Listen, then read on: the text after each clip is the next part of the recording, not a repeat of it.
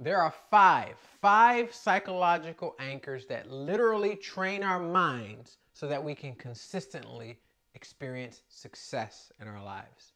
And you'll see these things common across those who are high achievers or accomplish much in their lives. These five psychological anchors. I'm to show you what these are today so you can apply and uh, make sure these are aligned in your life so that you can consistently experience success through every circumstance.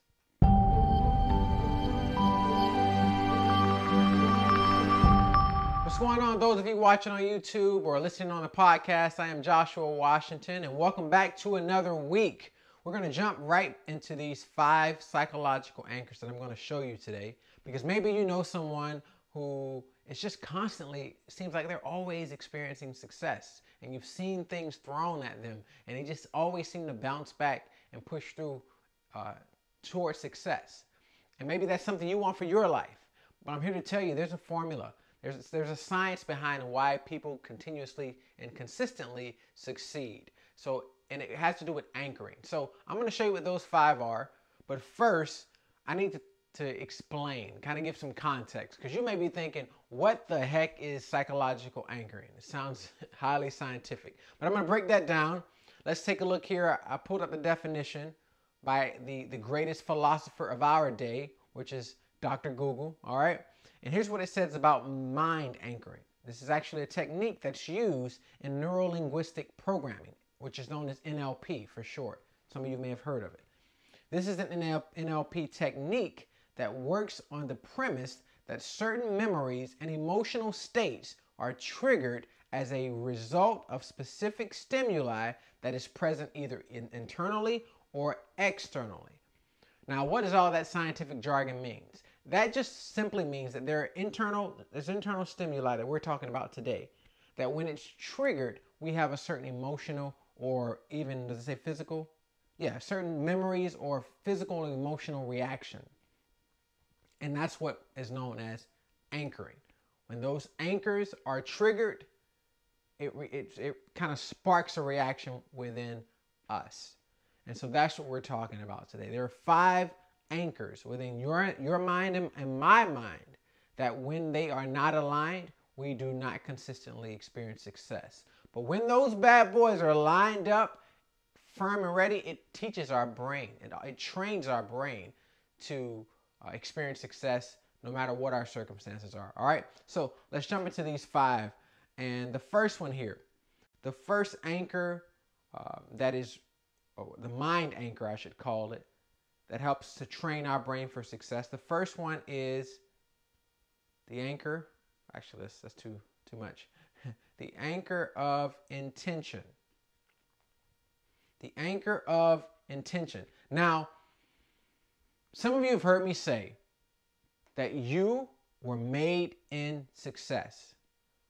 I often say, like, if your life represented had a product tag on it, it would say, you know how some products say made in China or made wherever? The product tag on your life would say made in success. Now, when I tell some people that, automatically their thought is, well, then that means I'm going to automatically succeed or experience success. And the answer is no, that is not what that means. Just because you're made in success does not mean that you are automatically going to experience success.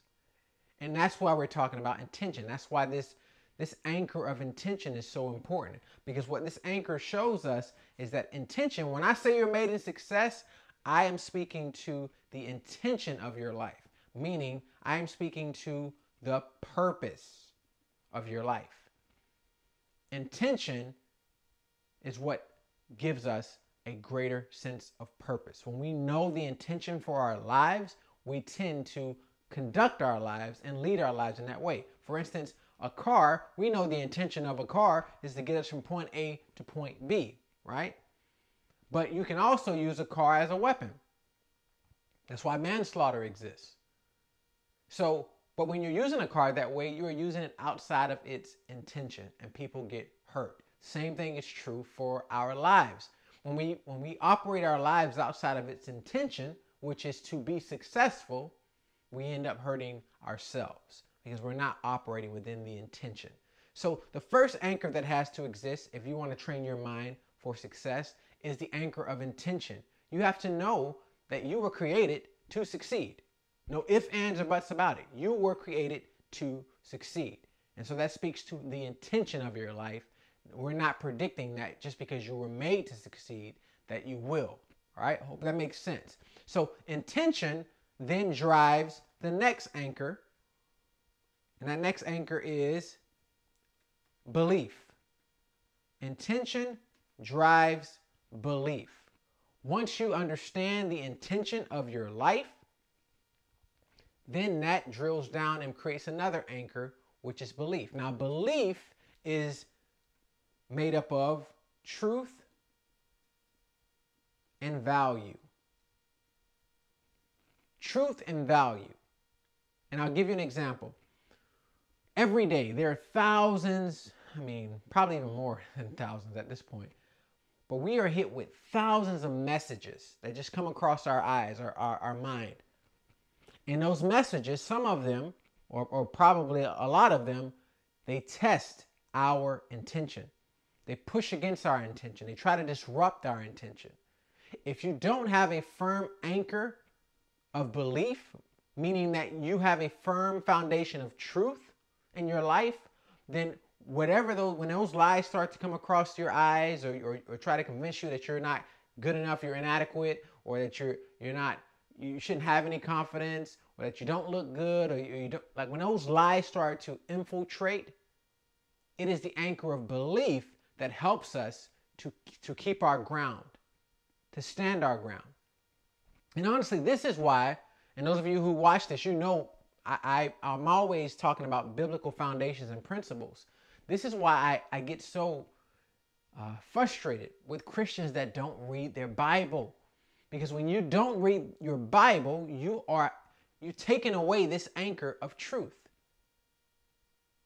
Because it's not long before the lies begin to pile up. And if you don't have a firm foundation of consistent truth in your life, meaning you're constantly reminding your mind of truth about you know the intent of your life and truth about the future of your life and truth about who you are and the value that's within you and the truth about why you hold the values that you hold. And it just continues to go on and on. Like that that anchor of belief is critical because it's what reinforces the intention over your life.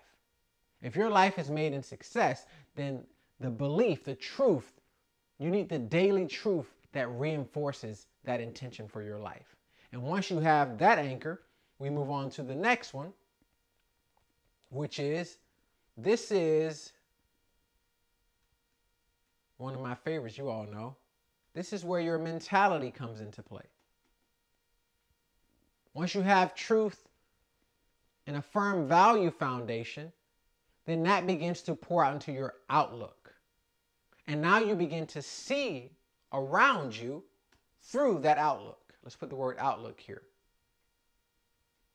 Once you have the anchor of intention, that leads to belief. Well, let's start off. Once you have the anchor of intention, that gives you a greater sense of purpose, and that leads to the next anchor of belief, which roots your life in the foundation of truth and value. And I don't know what your truth, what you consider truth. I consider the Bible, the Word of God, to be true, and that's what keeps me, you know, gives me a foundation to combat all the lies that come against us every day. Whatever that is for you, just make sure you have an anchor uh, and make sure that it's sustainable. And then the next one is mentality. And mentality is once you have that, those first two, you begin to see life through those eyes. And I, I would like to think of it this way. Some people call they some people are, are uh, seen as optimists or they're seen as pessimists, meaning either you have a really highly positive outlook on everything or a really negative outlook on everything. That's the example I would give you here with the mentality. People who have a pessimistic outlook on, on life is because their beliefs are rooted in negativity and they and their intention could potentially be out of uh, alignment as well. So it's important to not only just have the intention, anchor of intention, the anchor of belief, but also the anchor of your mentality. Make sure your outlook matches your belief and the intention of your life. And once you have that, that leads to the next anchor, which is, I keep mixing my colors up here. That's the anchor of action. The anchor of action. Now, I like to think of this one as this is the response. Once you once you have the intention and then you have the uh, the belief, the truth and the foundation, and then you have the, the mentality, meaning your outlook every day is, is living and looking for that's that success. You've trained your mind to have that outlook. Next comes the action. Because it, it means nothing to have to know your intention, to know your life was made for success, to have truth that reinforces that, and to form your mentality and then not go out and move. It makes no sense to have all these other, you know, three anchors, but then you never take action. That's why we're doing, that's why I started doing the Activate Your Dreams Challenge. Because there are a lot of people who believe their life was made for success. They believe um, the, the truth, they have truth that reinforces that. And they have an outlook of success for their lives, but they don't go after any of the goals that they could actually achieve if they weren't bombarded by fear, doubt, and inaction. And so action is so important because action is success in practice.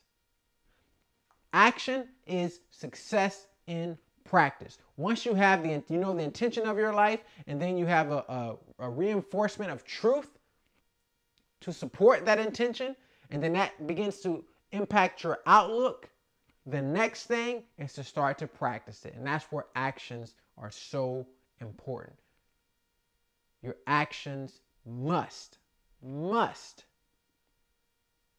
cause you to start to put into practice the success that is anchored in these other three that we're talking about. And once you have the, the action, then the next thing, the last thing here is that begins to anchor into your habits. And this is this is special because once you get to this point, that's when you begin to formulate the experience. This is where experience comes into play. Because now that your actions are you actually practicing success, what begins to happen is if you're not if you're not aware of this, we spend most of our lives living in the unconscious realm. 80% I think is the is the um, is the statistic. 80% of, of our actions in our in our life is in the un- unconscious.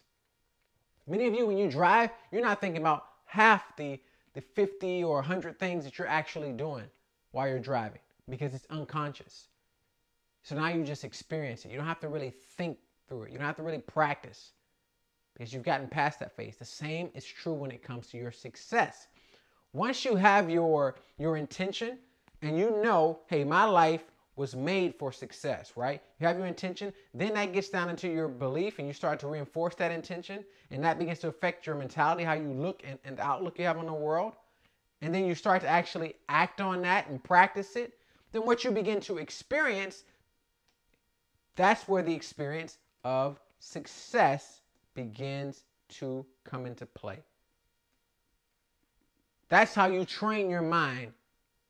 That's how you train your brain, no matter what situation you're in, to always end up at the level of success.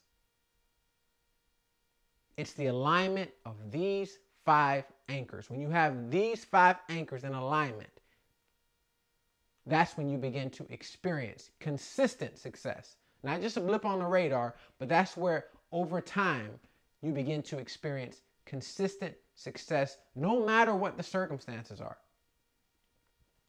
Some of you, you've suffered from cons- consistency issues.